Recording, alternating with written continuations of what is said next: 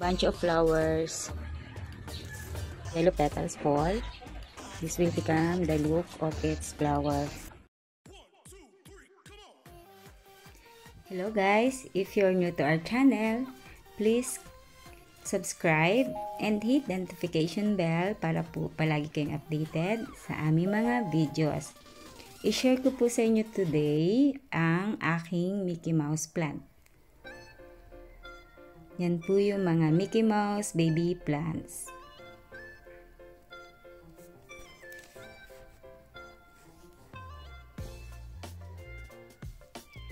As of today po, meron akong 8 8 Mickey Mouse trees. Nag-start po ako mag-collect 2 years ago.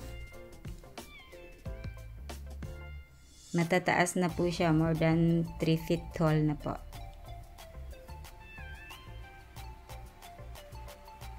I will show you how that Mickey Mouse plant is called Mickey Mouse. It is because of its flowers.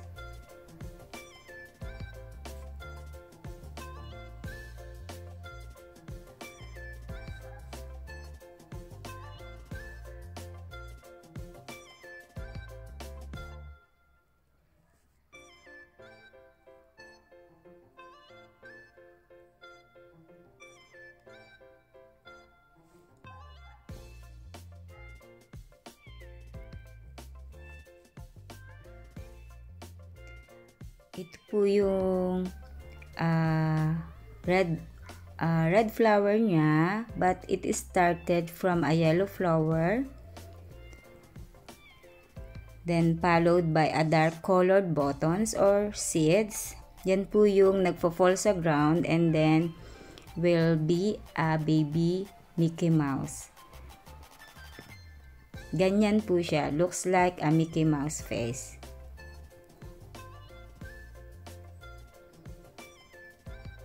I-show ko po sa inyo rin yung how lovely are the flowers of Mickey Mouse.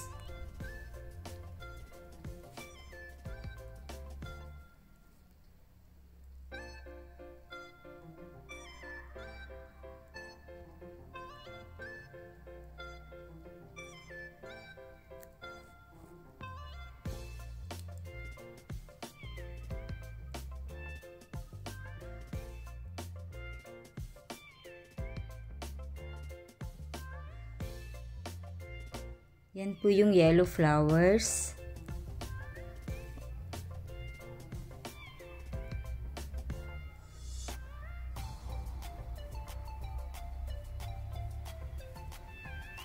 Bali, 5 pots po ng Mickey Mouse is make, giving me flowers na.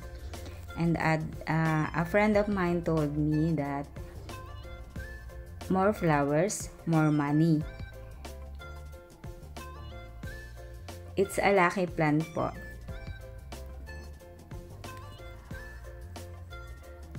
That is why it is called also as a money tree.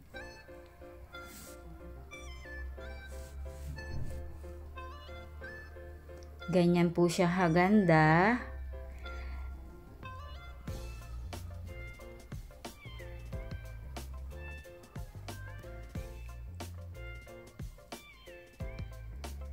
Those green buttons po, yun po yung magiging black.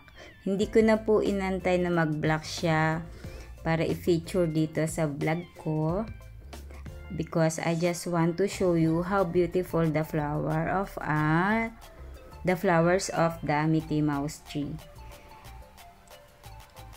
Ma-in love din po kayo sa flowers niya.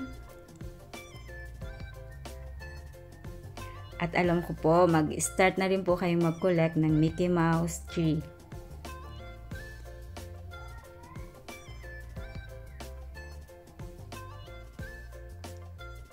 Best of luck everyone! God bless us all. I hope you enjoy our video. Thank you for watching.